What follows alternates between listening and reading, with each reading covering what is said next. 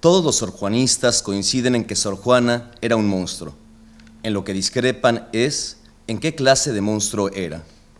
Algunos sorjuanistas leen Fénix y repiten Fénix. Algunos sorjuanistas leen Fénix y no dicen nada. ¿Pero era Sor Juana un fénix? Probablemente algo había de plumas, algo de alas, algo de ave bajo el hábito, pero un fénix, lo que se dice un fénix, no. Basta con mirar sus retratos para saber que Sor Juana no era un fénix. Los sorjuanistas tienen amor, un inmenso amor dentro de sí, pero por algún extraño motivo, en ningún modo inexplicable, en cierto momento de sus desdichadas vidas, que vida no lo es, decidieron entregarle todo ese amor a Sor Juana. algunos sorjuanistas, el inmenso amor que tienen por Sor Juana les impide mirar con claridad a Sor Juana. Algunos sorjuanistas leen Fénix y transcriben Fénix, pero basta con mirar sus retratos para saber que Sor Juana no era un fénix. Si Sor Juana no era un ave fénix, ¿qué clase de monstruo era? Los sorjuanistas no son de mucha ayuda al respecto. En general, los sorjuanistas no son de mucha ayuda en nada.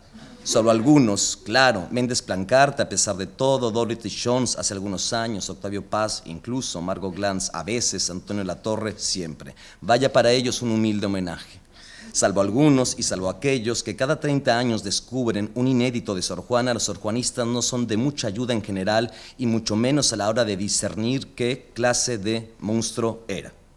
¿Qué clase de Was Sor Juana a phoenix? All the Sor Juana scholars concur that Sor Juana was a monster. Where they differ is on what kind of monster she was.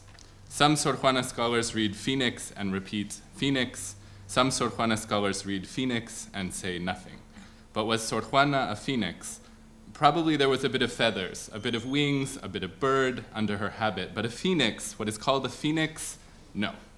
It's enough to look at her portraits to know that Sor Juana was no phoenix. The Sor Juana scholars have love, an immense love inside themselves. But for some strange reason, in no way inexplicable, at a certain point in their unfortunate lives, what life isn't, they decided to hand over all that love to Sor Juana. For some Sor Juana scholars, the immense love they have for Sor Juana prevents them from seeing Sor Juana clearly.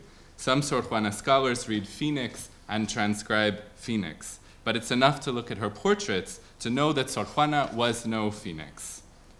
If Sor Juana was not a phoenix bird, what kind of monster was she?